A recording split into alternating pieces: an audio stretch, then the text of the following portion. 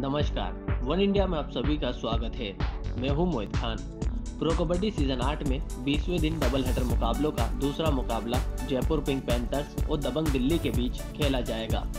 ये आज का एक बड़ा मुकाबला रहेगा, जो रात साढ़े आठ बजे शुरू होगा। जयपुर के सामने वो दबंग दिल्ली है जिसने इस सीज़न में अब तक एक भी मुकाबला नहीं हारा है। ऐसे में जयपुर के लिए एक बड़ा चैलेंज होगा कि इस मुकाबले में नवीन कुमार को रोका जाए और दबंग दिल्ली को हराया जाए। दबंग दिल्ली ने इस सीज़न में अब तक सात मुकाबले खेले हैं और दबंग दिल्ली को इन सात मुकाबलों में से पाँच मुकाबलों में जीत मिली है। वहीं दो मुकाबले दबंग दिल्ली के इस सीज़न में अब तक टाई रहे हैं। Dabang Delhi pro kabaddi season eight में एक लौती टीम है जिसने इस सीज़न में अब तक एक भी मुकाबला नहीं हारा है और सामने वो टीम है जिसे इस सीज़न में अच्छी ले अभी तक हासिल नहीं हो पाई है।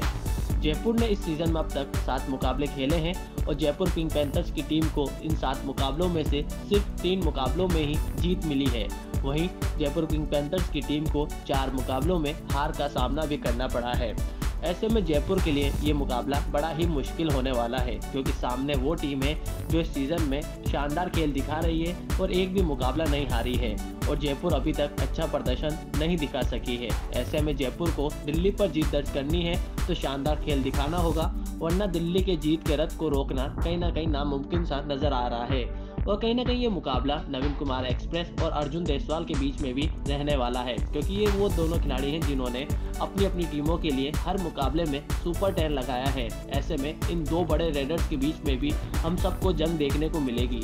उम्मीद करते हैं एक शानदार मुकाबला हो, क्योंकि दोनों ही टीम शानदार है। दोनों टीमों में एक से बढ़कर एक खिलाड़ी भी है, लेकिन प्रदर्शन दिल्ली का इस सीज़न में कुछ ज़्यादा खास रहा है। वहीं जयपुर की टीम इस सीज़न में अच्छा खेल दिखाने के बावजूद अपनी जीत की ले को हासिल नहीं कर पा रही है। ऐसे में जयपुर इस मुकाबले में जीत दर्ज करना चाहेगी। वहीं दबंग दिल्ली की टीम अपने जीत के रथ को जारी रखना चाहेगी। इस खबर में फ़िलहाल इतना ही। अपडेट के लिए आप बने रहें वन इंडिया के साथ।